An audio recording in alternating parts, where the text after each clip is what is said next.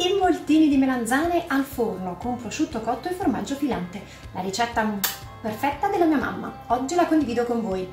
Iniziamo con un sughetto molto semplice che deve cuocere una 10 minuti. Il tempo veramente che prepariamo le melanzane. Spicchietto d'aglio, filino d'olio. Faccio insaporire pochi secondi. Si sente il profumo dell'olio e dell'aglio, aggiungo la passata di pomodoro regolo di sale, do una mescolata, fuoco al minimo, chiudo, faccio cuocere 10 minuti. Procedo con le melanzane. Per questa ricetta è preferibile scegliere la tipologia lunga, poiché sarà più semplice poi fare il rotolino. Quindi le ho lavate, vado a spuntarle e le taglio a fette non troppo sottili parte esterna la tolgo.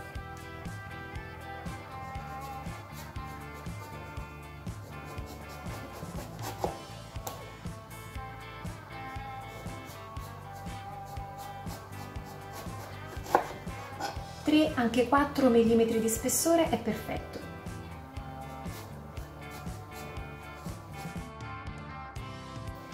Non riesco più a mantenere la melanzana in questa posizione perché è diventata sottile, la capovolgo e la taglio in questo verso qui.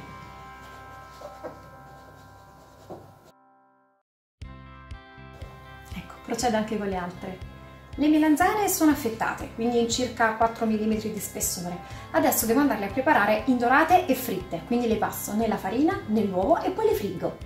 Ho preparato due piatti, farina, uova, un pizzico di sale e lavoro. L'operazione di infarinare, eh, rivestire con l'uovo e friggere le melanzane deve essere quasi contemporanea, quindi nel frattempo portiamo a temperatura l'olio. L'olio è arrivato a temperatura, io ho preparato anche un piatto con della carta assorbente per sistemare le melanzane man mano che sono pronte ed assorbire l'olio in eccesso. Procedo infarinando ogni fetta di melanzana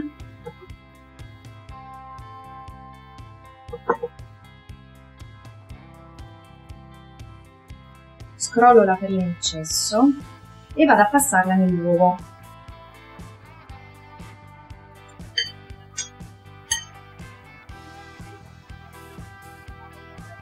Faccio cadere l'uovo in eccesso e vado in frittura. Procedo in questo modo con tutte le melanzane.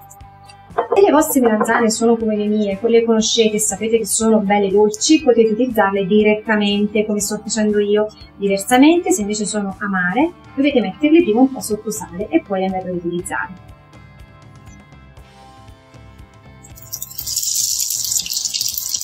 Quando sono ben dorate le spolate e le sistemate appunto nel piatto dove andranno a assorbire l'olio in eccesso.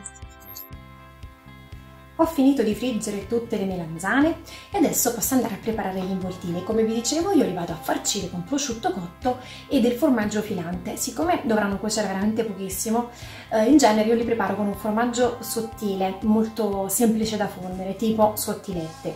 Ma se preferite potete utilizzare anche della mozzarella, della provola, l'importante è che sia molto asciutta e molto sottile. Procediamo. Prendo quindi una fetta alla volta, vi faccio capire anche perché era appunto opportuno che fossero lunghe le melanzane perché sarà più semplice arrotolarle. Ci vado a mettere un pezzetto di prosciutto cotto.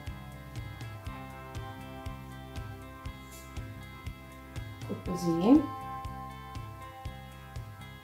Ed un pezzo di formaggio queste sono comodi anche perché si fanno facilmente a metà e sono proprio della misura giusta. Ecco, non devo fare altro che arrotolarle.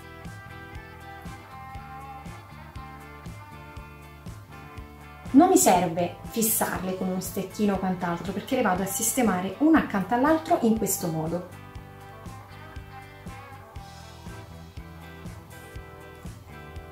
Io precedentemente ho unto un po' la teglia.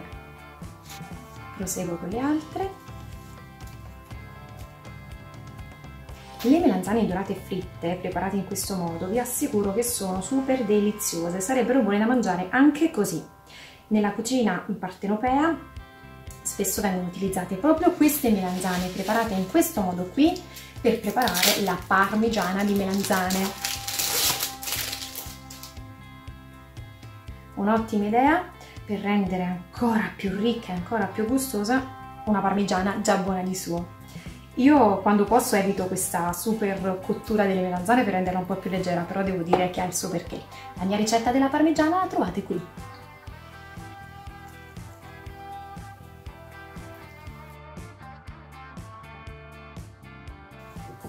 Ecco qui, rotolini di melanzane pronti.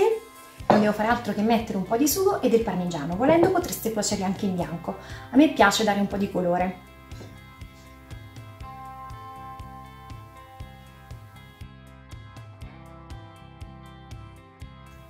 E parmigiano. Volendo potreste aggiungere ancora un po' di formaggio che fonde in superficie, quindi ancora un po' mozzarella, sottiletta o scamorza, insomma quello che state utilizzando. Ecco qui. Ed ora non devo fare altro che infornarli 180 gradi forno statico per 15-20 minuti. Gli involtini sono pronti, sono profumatissimi, il formaggio fonde e fateli riposare qualche minuto, poi portateli in tavola. Io vado ad assaggiarli subito. Non resisto, devo assaggiarli proprio adesso.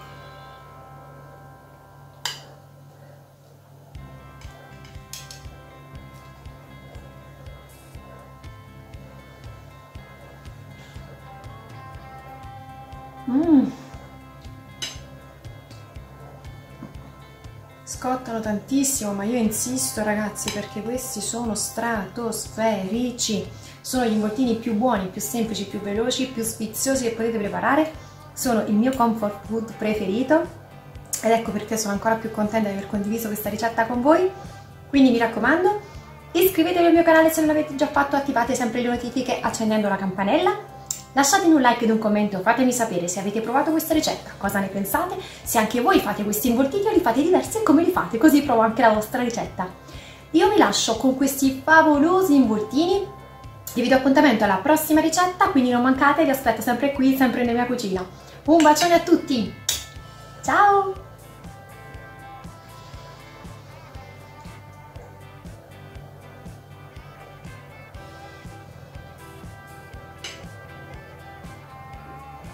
Spaziali, ragazzi spaziali.